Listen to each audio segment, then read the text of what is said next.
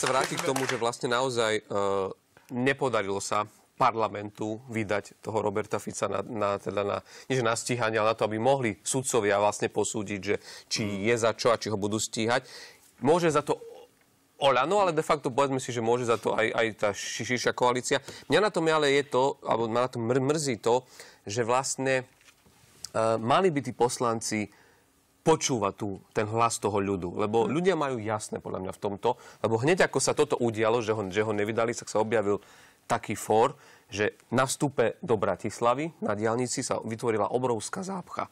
Kolóny siahali až niekam proste posenec, ľudia nervózni v autách, trúbili, čo sa deje. Tak, a chodil taký pán pomedzi tie autá, tak jeden stiahol hovorí, čo sa deje? Hovorí, ale Ľuboš Blaha zablokoval diálnicu a tvrdí, že buď vyzbiera 10 tisíc podpisov na prepustenie Roberta Fica na jeho podporu, alebo sa tam rovno podpali aj s tým autom.